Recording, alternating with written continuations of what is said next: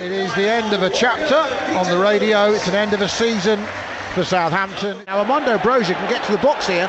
He attacks on the outside, narrow angle. Out comes Alisson, makes a good save in front of him. Good switching of the play out to Redmond. He can drive at Gomez in the box onto his right foot. Gets the shot away!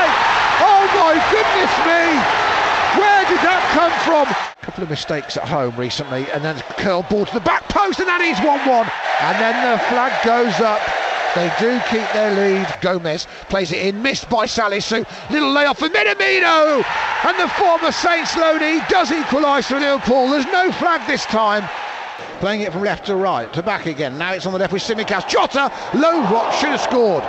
He's hit it. Nobody's picked him up as he's got it. He's been allowed to turn and shoot, and he's screwed it wide of the left-hand post. Lovely first-time ball. Elliott in behind Redmond. A narrow angle hits the side netting as McCarthy came rushing off his line.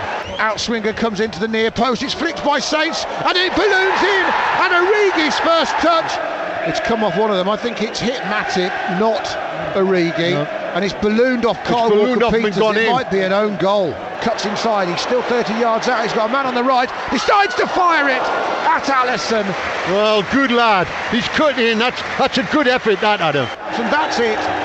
The season at St Mary's has finished for 2021 22.